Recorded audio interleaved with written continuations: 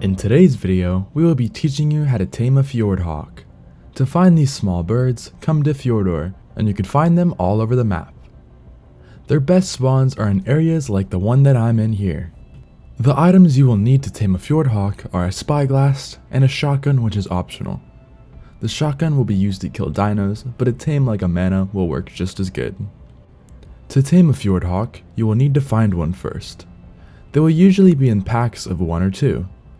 Once you find one, try to get it to follow you. You do not need to hit them for this to happen. Just get close enough to where they follow.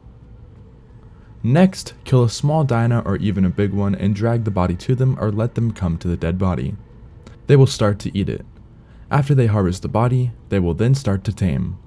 Now this may take a long time, so be sure to be patient. Now you'll see as they start to tame, they're going to be harvesting a lot of bodies.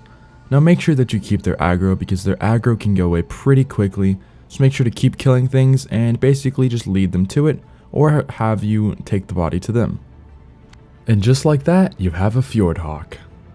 A lot of people overlook these creatures as just another shoulder mount, but they do much more than just be a cosmetic.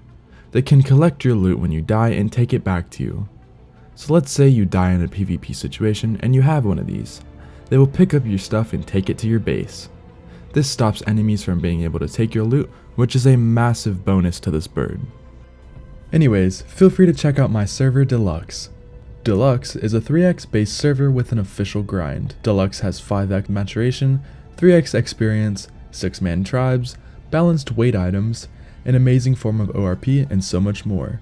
Feel free to check it out in the description down below and use code OUTCAST for 5000 free deluxe diamonds in shop.